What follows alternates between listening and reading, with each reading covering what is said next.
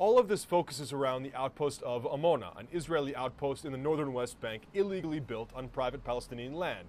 Israel's High Court has ruled this outpost has to be demolished or removed by Christmas Day, by December 25th.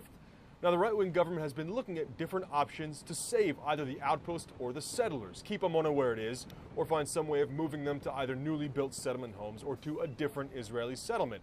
Netanyahu didn't favor this bill, but it was pushed forward by the right wing Jewish Home Party that very much favored what's come to be known as the legalization bill. They pushed this through the committee, and they vow to push this through Israel's parliament, the Knesset.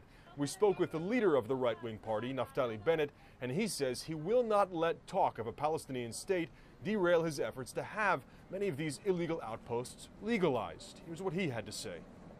I think that the, the uh, notion of setting up a Palestine in the heart of Israel is a profound mistake. That's always been my platform. It remains my platform. And uh, I believe that we have to bring alternative, new ideas instead of the Palestinian state approach. Netanyahu has opposed this bill, saying it's not the right way either to keep the Amona settlers where they are or to move them to a different location. Israel's Attorney General has said the bill itself is unconstitutional, would violate international law if passed into law, and he has said it would be impossible to defend before Israel's High Court. Palestinian leaders blasted this bill. Hanan Ashrawi said such bills are in direct violation of international law and conventions that prohibit racism and territorial expansion as the result of war and violence.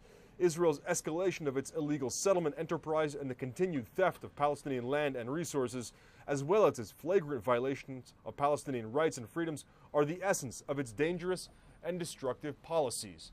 Now, it is worth noting that though Netanyahu opposed this bill, when it came down to that vote in the ministerial committee, all five of the Likud members, that is to say, all five of the members from his party, voted in favor of this bill. Now, just because it passed this committee doesn't mean it has been passed into law. In fact, it has quite a procedure to go through through Israel's parliament, through the Knesset, though it is again worth noting that it has passed a major hurdle here.